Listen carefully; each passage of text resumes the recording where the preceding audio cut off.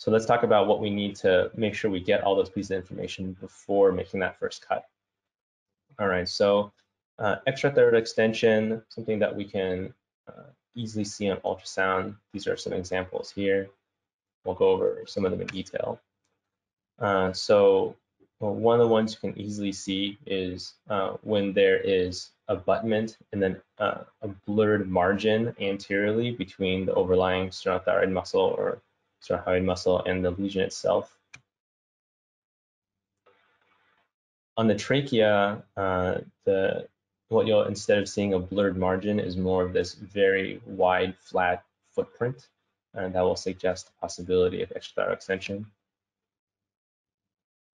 And then posteriorly, same thing, you can see um, an irregularity uh, and a fuzziness to that posterior margin that would suggest ETE.